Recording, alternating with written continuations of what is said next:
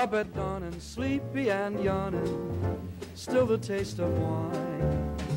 Cause I remember you're mine and I got a world that's fine. What's before me, routines that bore me, punch the clock at eight. Then I remember you're mine and I got a world that's great. Atom bombs, Cape Kennedy and false alarms. Half the universe is up in arms. So I flip a little too until I'm holding you. What's the hassle? Out by the castle. We can live like kings. If you remember your mind, then I got a world that you got a world that we got a world got no yacht. Still, I'm happy with what I've got. Cause I remember you're mine, and I got a world that swings. I got the world down a string, sitting on a rainbow, got the string around my finger. The string reminds me you're mine, and I got a world that swings. Atom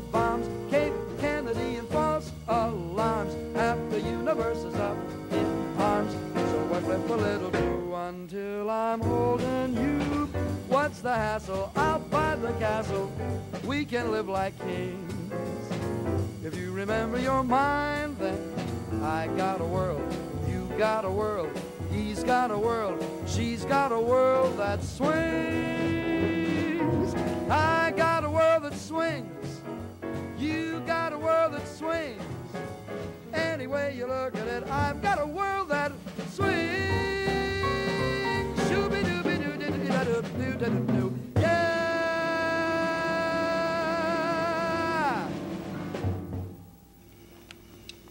I kept hearing the word swings. What's the title of that song? It's called I've Got a World That Swings. Does swinging make it a jazz song? Well, I think it makes it a jazz song, Ralph, uh, depending on how you sing it. I think you can sing Our Sweet Mystery of Life and make it a jazz song. It just depends on the interpretation of the And song. it's the performer, not the material? I think basically, yes. Yeah. Are you a jazz singer? Well, and let me answer that partly with a question. Now, as you know, because we've known each other for many years, there are very few people that I consider qualified to judge whether someone is a jazz player or a jazz singer. Now, you happen to be one of the few people that I feel is fully qualified. You could cancel Am- off the show for that. Am, am I a jazz singer? Mel, Mel. Am I a jazz singer? you are to me, but I've got a very good friend who thinks you aren't. Well, Now, then we then we. Oh, that's that's interesting. That's the good, point. though. Yeah, I think I'm a jazz singer. Uh, my feet have always been firmly rooted in jazz. Uh, I grew up in my hometown of Chicago, and as you know, uh, I've been listening to Ellington and uh, Lunceford and Charlie Barnet and some of the more commercial but good musical bands like Artie Shaw and uh, Tommy Dorsey for so many years that I think that just from the you know through the process of osmosis, I'm a jazz singer. Yes, I think so. What makes a guy a jazz singer? What makes a man, and what makes a woman a jazz singer as opposed to just a good pop singer? Well, as I, again, we go right back to interpretation and sound. I think there is a kind of uh, a kind of vibrato and an approach to singing notes that makes people a. jazz. Let me demonstrate, may I? Uh, for instance, uh, a standard popular singer would sing, "Up at dawning, sleepy and yawning." Now, there's kind of an accepted feeling about singing notes when you're a, when you're a so-called an alleged jazz singer where you sing the, the, the held note at the end of the phrase uh, in a cold tone and add vibrato like this. Up at dawning, and you add the vibrato later. I think that this is uh, maybe one of the one of the forts of a jazz singer, one of, one of the strong points of a jazz singer. You're not always singing, you're not always adding vibrato to every single note. You're singing most of your notes cold tone. But sometimes when you sing, it seems to me uh, I could hear an instrument, a brass instrument, playing Well, you're that, singing. that's the other aspect that I was about to talk about. Uh, the word jazz singer, I think, uh, Ralphie, is, is thrown around a great deal. I think that it's, uh, it's a word that's used uh, incorrectly at times in describing certain singers. Uh, I can think of two male singers right now, for instance, uh, I'd rather not name, who are considered jazz singers because they have a uh, throwaway quality to their voice. I think that a jazz singer, to really be a jazz singer, should be basically a musician and should be capable of improvising around any given melody. I don't say that, uh, that this is, it's like a flyer. You don't always have to do barrel rolls through the air, but it's nice to know that you can do them, that you're, you're, you're capable of doing them, and you're in control of the airplane. I think the same thing applies to, per se, a jazz singer. So who are jazz singers to you? Well, of course, I think Ella's a jazz singer. Uh, I think Carmen McRae is certainly a jazz singer. Um, Anita O'Day uh, is a jazz singer. Uh, she's not my favorite singer because uh, her intonation bothers me, but that's not really fair either because it, we- we're talking about feeling, aren't we? It's like uh, somebody once said about Billie Holiday to me, and it's, it's a quote that I've remembered for 900 years now. Somebody said, Billie Holiday is a little like spinach. Doesn't always taste good, but it's always good for you. Which I think is kind of interesting. There are an awful lot of jazz artists who are maybe not the most musical artists, you know, that I can think of, but who are always interesting to me. Leo Watson is a good example. A very crude kind of uh, scat singer in his day with the old Gene Krupa band, and then on his own as a scat singer. And he maybe didn't, he wasn't as pyrotechnic, pyrotechnical as Ella, or uh, modestly but honestly myself. But he had a driving kind of uh, gutty, basic, down-to-earth, grassroots force uh, in singing scat that was very thrilling, very thrilling and exciting to hear. What other males do you think of as jazz singers? Well, I think that, uh, you know, it's hard to disseminate. Uh, it gets to be a semantical problem between a jazz singer and a blues singer. Like to me, Joe Williams, who's one of my all-time favorites, is essentially a blues singer. But blues is jazz, so he, Sure. you know, by, you know, by that reason is a jazz singer too. Uh, people call Mark Murphy a jazz singer. Uh, I don't think he's a jazz singer. I think he's a very interesting singer, but I don't think he's a jazz singer. What about Bob Dorough? Uh, Bob Dorough is a very strange uh, category of singer. He's, first of all, he's tremendously interesting to me. I recorded a song of Bob's, which incidentally we're going to do next for you, called Coming Home Baby. And when I heard his uh, acetate recording of it, you know, his demonstration record, I called my company and said, gee, I think it's great, and I'd love to do it. But I'll never sing it as well as Bob Dorough. And I meant that with dead seriousness. Bob Dorough has a very strange, almost country quality to his voice.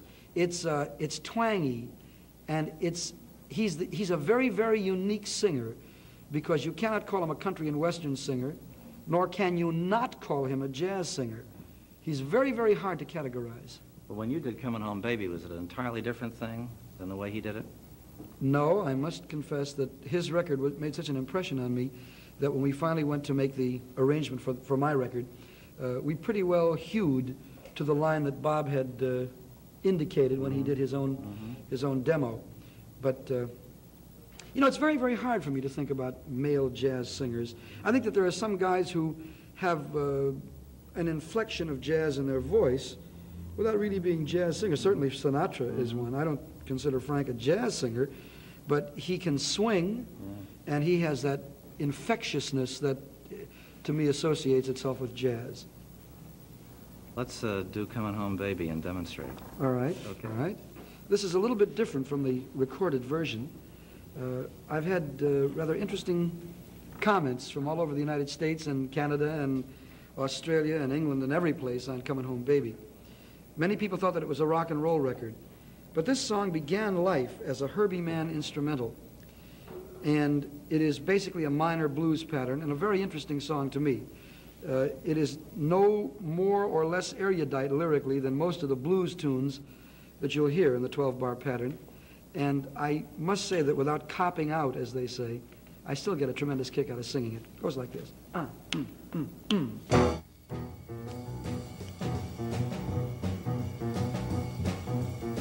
Coming home, baby, now. shoo ba doo ba doo doo I'm coming home now, right away. Coming home, baby, now. I'm sorry now I ever went away. Every night and day I go on stay. I'm coming home now. Coming home, baby, now. I'm coming home now, real soon. Coming home, baby, now. I'm coming home, I know I'm overdue. Expect me any day now, real soon. I'm coming home, pretty mama, coming home now, and everything is gonna be fine. Coming home, baby, now. Expect to see me now anytime. When you're in my arms, I'll be fine. Coming home, pretty baby, I'm coming home now, yeah, yeah, yeah. Coming home, baby, now. I'm coming home, you hearing what I say, and I never will go away. Hey, Lordy Mama, it is the gospel truth. I'm coming home now. A light a candle in the window, pretty baby, coming home, uh, coming home. Hey, pretty baby, coming home real soon.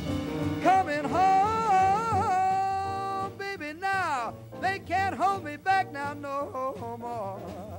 The road is long, baby, now. Oh, hear me holler and hear me roar. Gonna be with you evermore. Home, pretty baby. That's what I say. I say I'm coming home. I'm pressing on, baby, now. I'm coming home and never more to roam. Baby, I'm for sure coming home. I'm coming home. I'm coming home. I'm coming home. I'm coming home, pretty baby. Hey, hey, hey, I'm coming home. Home, home, home, home. I'm coming home. Home, home, home, home. I'm for sure coming home right now.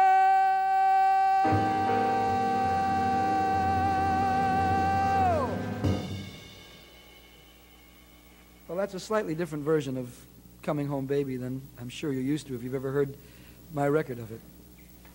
Right about now, uh, I think it'd be fun to do a ballad. And you know, I've run into many, many accompanists in the course of the last 10, 15 years. Some good, some fair, some not so good, some excellent, and some unique. Now, one of those accompanists is a young man from New Jersey named Jimmy Wisner, and he's played with me on a number of my records. Uh, luckily, another one of those rare accompanists is the gentleman sitting immediately behind me, Mr. Gary Long. And I've had the pleasure of working with Gary in this Bay Area of California for quite a few weeks now. The song we're about to do was written by the aforementioned Jimmy Wisner, and from a standpoint of a jazz ballad combined with a rather unique way of singing a torch song, or stating a torch song musically, I should say. Uh, this to me is a very interesting song. It's called Sidney's Soliloquy, and it's named after a man in Philadelphia, Pennsylvania, Sid Mark, who is a very famous FM DJ in that area. See if you like it.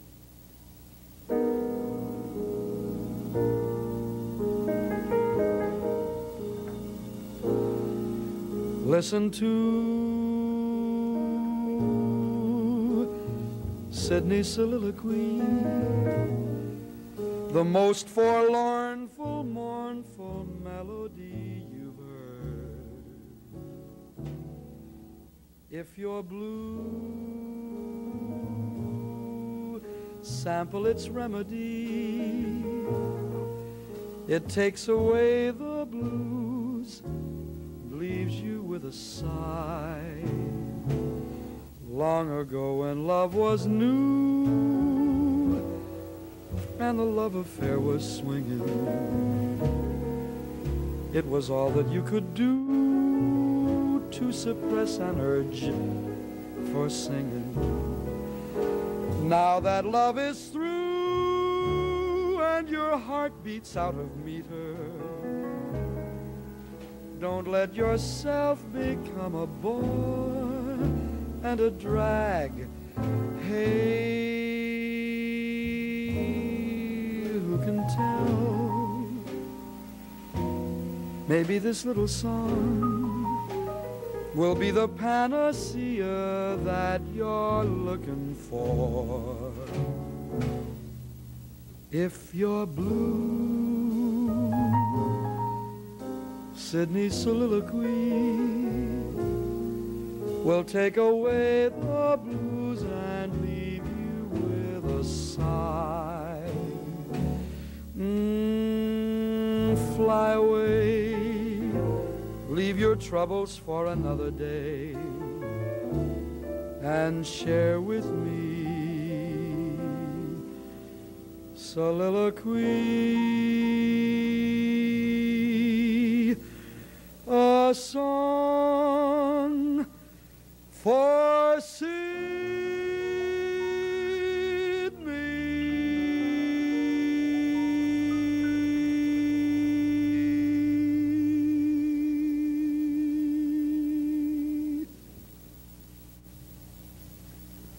Kind of an interesting song, isn't it?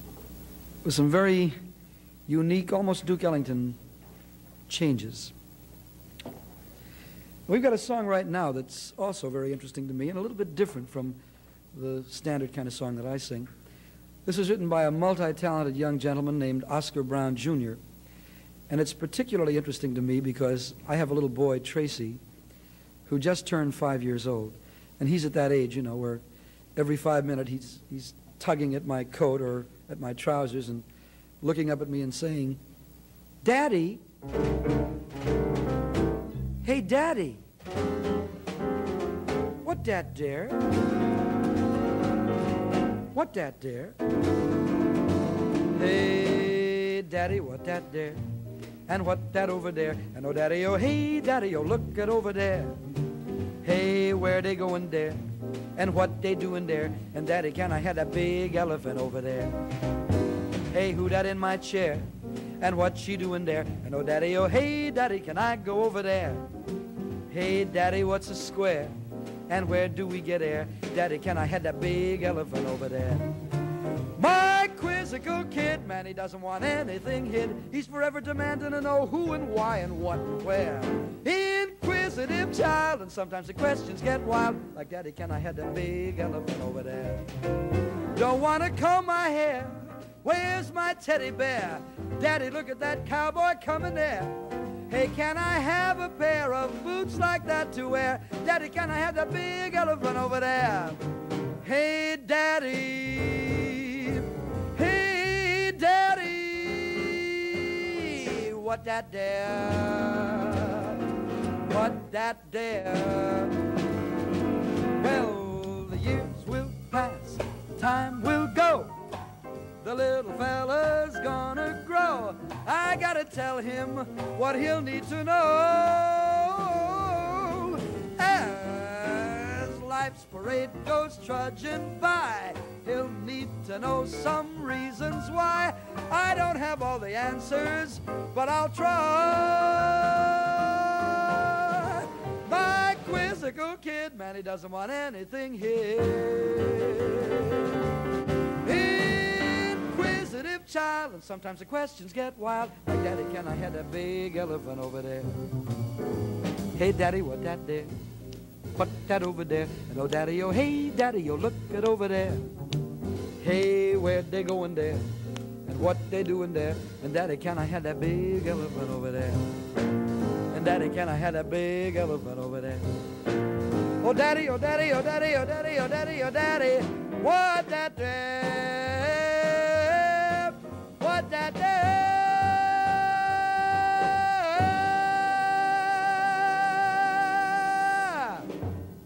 What that there? I'd like to uh, give Gary a little breather and move back to the piano and do one of the most musicianly songs I think that's ever been written. Written by, incidentally, two very dear friends of mine, Jack Segal and Marvin Fisher. And strangely enough, I avoided this song for a long time. Uh, I was, I felt at one time getting too much identification in the jazz vein. When I say too much, to the point where people really wouldn't come to see me in a club because they felt I was singing songs that were too far out, not identifiable to them.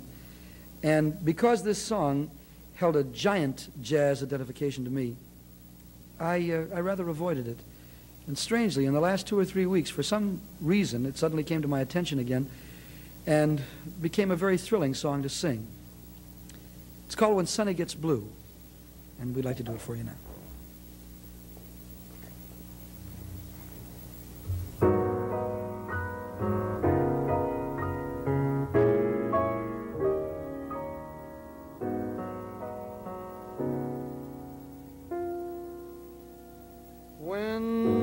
Gets blue, her eyes get gray and cloudy. Then the rain begins to fall. Pitter patter, pitter patter. Love is gone, so what can matter? Ain't no new lover man come to call. When Sunny gets blue, she breathes a sigh of sadness like the wind that stirs the trees. Wind that sets the leaves to swaying like some violins are playing weird and haunting melodies.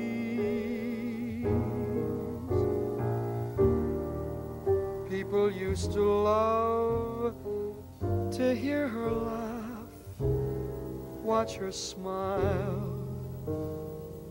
That's just how she got her name.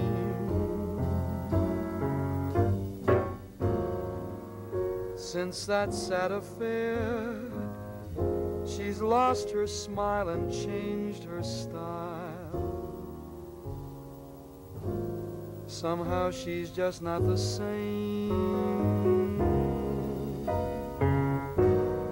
But memories will fade, pretty dreams will rise up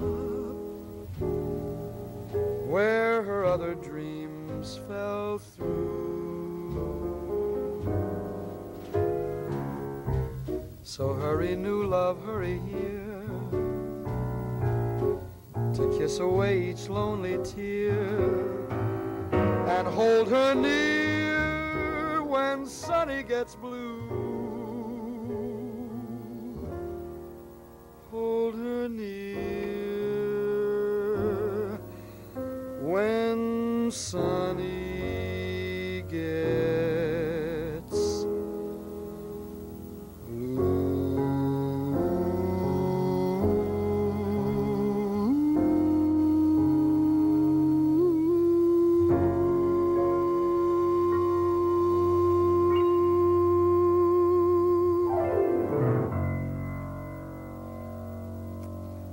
Sunny gets blue.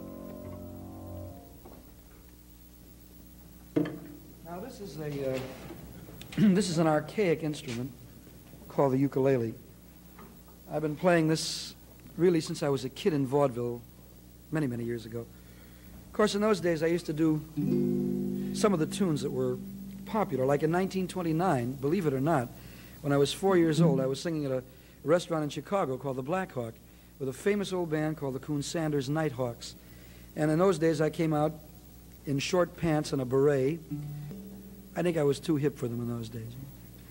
Anyway, the ukulele really is basically, as I said, an archaic instrument. Nobody plays it anymore except, I guess, myself and Arthur Godfrey. But it rather lends itself well, particularly this baritone ukulele, to a new rhythmical pattern that we have come to know as the bossa nova. There's a beautiful bossa nova tune written by the king of the bossa nova, Antonio Carlos Jobim. And we've been doing it in our act by, I don't mean the editorial we, I mean we four. And I would like to have a crack at it for you. It's a very beautiful song called Quiet Nights.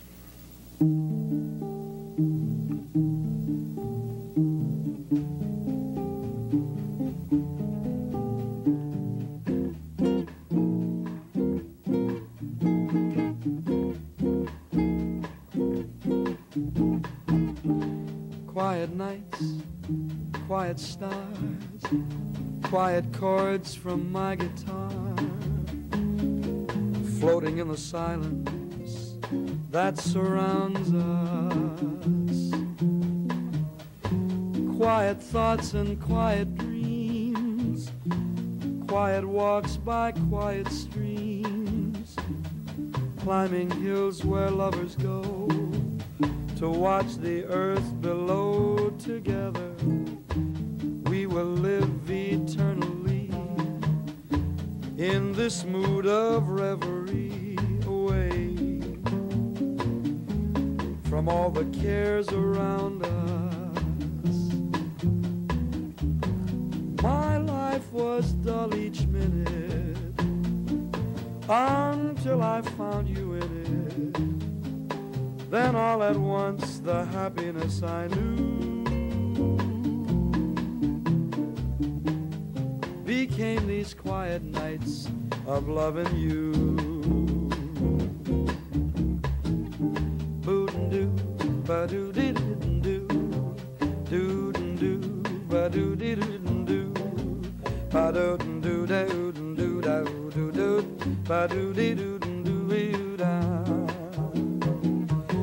My life was dull each minute until I found you. Then all at once, the happiness I knew became these quiet nights of loving you.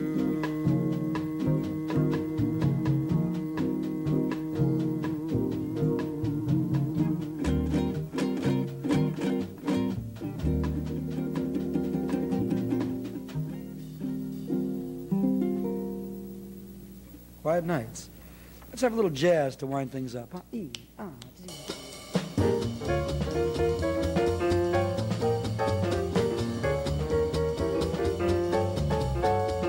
If you ever plan to motor west, travel my way, take the highway, that's the best. Get your kicks on Route 66. You go through St. Louis, Joplin, Missouri, Oklahoma City looks mighty pretty, you'll see. Amarillo,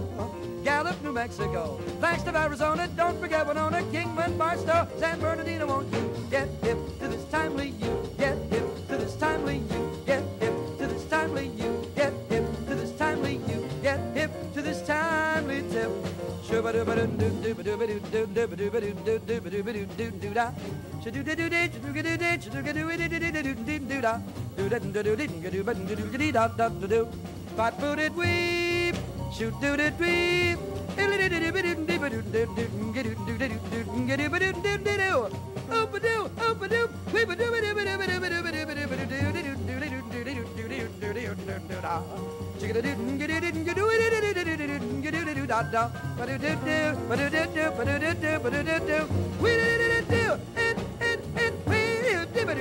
Get it, but it do it,